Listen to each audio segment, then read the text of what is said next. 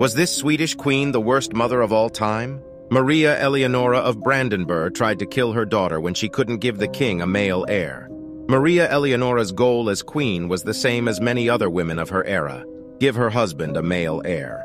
When she didn't achieve her goal, she went crazy. Maria Eleonora bore her husband, King Gustavus Adolphus, a girl named Christina in 1626, and she immediately rejected her daughter, calling her a monster. More than once, she allegedly tried to kill Christina by pushing her downstairs and dropping her.